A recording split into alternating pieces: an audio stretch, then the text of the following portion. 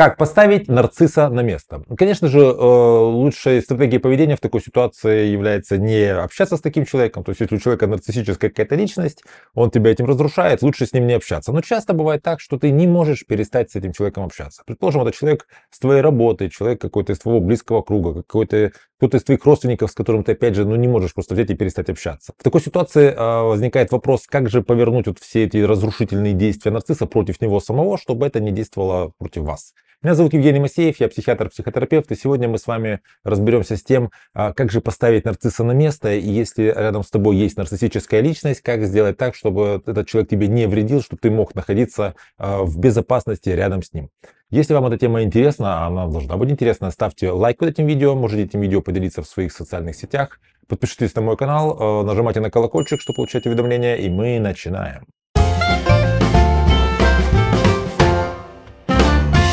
Прежде всего, вам нужно понимать и держать это постоянно в голове, что человек с нарциссической личностью – это человек-проблема.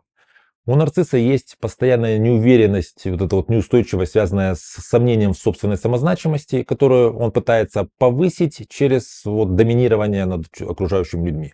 Нарциссы часто ведут себя э, грубо, обесценивающе, они могут часто ныть, обижаться, жаловаться, обвинять других людей. То есть общение с ними вот э, связано с вот этими вот какими-то такими негативными эмоциями, которые они у вас вызывают. И вам нужно понимать, что когда он что-то говорит вам, или он что-то говорит о вас, как-то вас оценивает, или он говорит что-то вам о ком-то, важно не то, что он говорит, то есть содержание, а важно то, как он это делает. То есть вам нужно понимать, что все, что он делает, он делает с позиции, ну, такого самоисправления, самолечения, что ли. Нарцисс постоянно играет в игру хороший полицейский, злой полицейский. Это ситуация, когда ему нужно, с одной стороны, вас держать возле себя, чтобы, так сказать, не отпугнуть, потому что ему нужно получать от вас нарциссический ресурс. Ему нужен кто-то, кто будет с ним общаться, кого он может унижать, а, над кем он может показывать свое вот это доминирование. То есть вот, предположим, вы где-то вот общаетесь, и он а, вдруг начинает как-то обесценивающе говорить по поводу вашего какого-то мнения. Ну, типа, дура, как ты могла такое говорить? Ну, все же все ж понимают, что это глупости.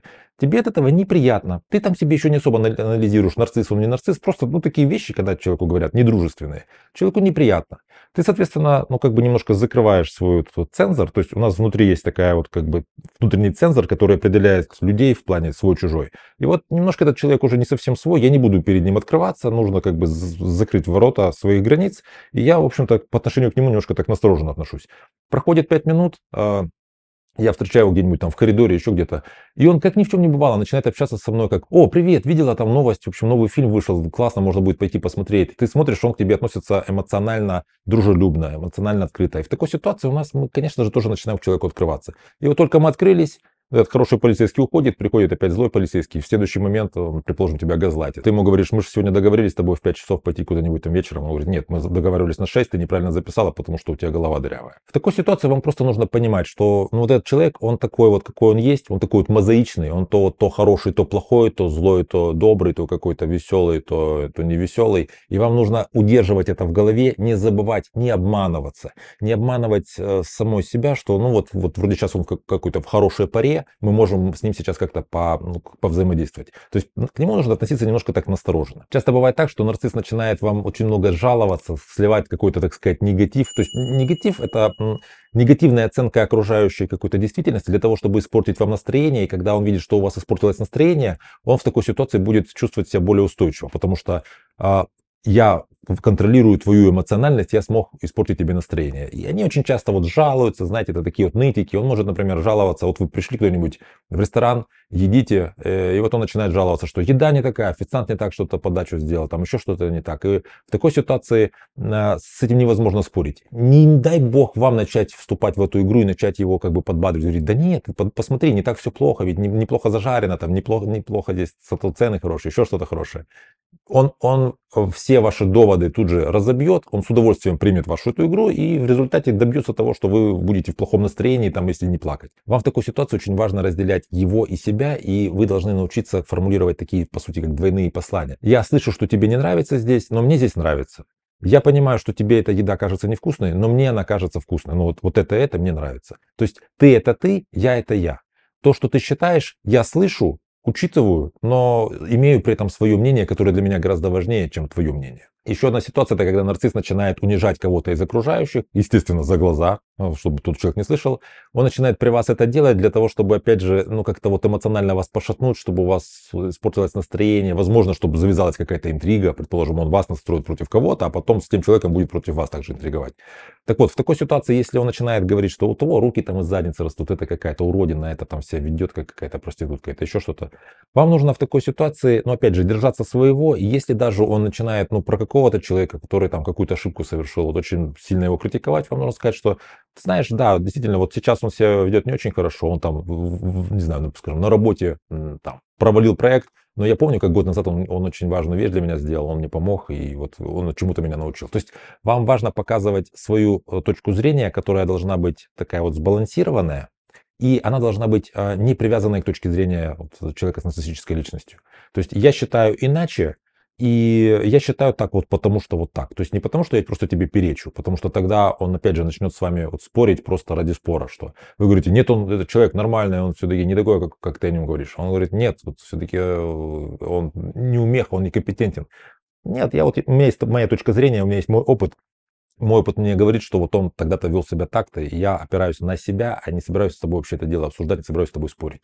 Ну, еще, знаете, нарциссы это такие люди, которые любят где-нибудь, вот компания собралась, какая-нибудь вечеринка, и он начинает высказывать какое-то такое противоречивое, часто скандальное а, мнение свое особое, а, обычно какой-то, знаете, совершенно ну, глупость какая-то, но такая глупость, которую, в общем-то, сложно как бы ей спорить, и он вызывает всех на спор. Ну, например, там, вы знаете, что Земля плоская, ученые доказали, потому что там, вот я в Гугле прочитал, или там, что вакцины против коронавируса придумали люди, которые хотят на нас заработать, они используют нас как подопытных кроликов. И вот он говорит такую какую-то вот вещь, и при этом он тут же тестирует, кто на это реагирует.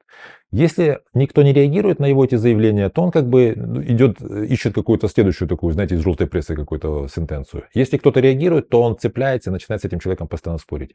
Переспорить нарцисса невозможно, потому что это человек, который упертый. Спор имеет смысл тогда, когда люди хотят договориться. Если кто-то хочет просто показать, что он доминирует, что он контролирует, то он будет э, приводить какие-то идиотские доводы, не обращая внимания на то, что ты их не принимаешь, и не принимать твои доводы, насколько бы они логичны не были. То есть ни в коем случае не спорьте с нарциссом. Вот, тот вот это тот случай, когда не спорь с дураком.